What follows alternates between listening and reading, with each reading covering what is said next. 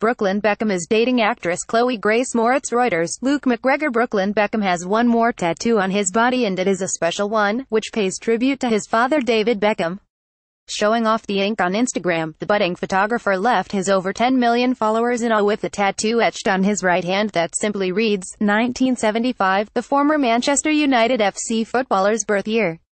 The 18-year-old captioned the photo on Instagram, at mr.k underscore tats. Fans were quick to gush over the snap of the tattoo, with one admirer saying, Daddy's year while another added, It's your father's year. Another admirer said, That's so rad, to get your dad's birth year, while someone else wrote, I just wanted to say that I absolutely love what you do for people and love who you have become. You are such an inspirational person and you give this world purpose. Thanks for being you.